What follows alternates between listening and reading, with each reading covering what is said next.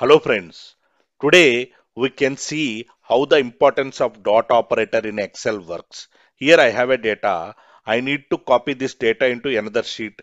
So I go to that sheet and I need to give equal to and come to that sheet and give the select the entire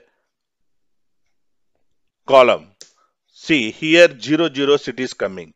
Instead of that you go to that one and give this dot operator symbol.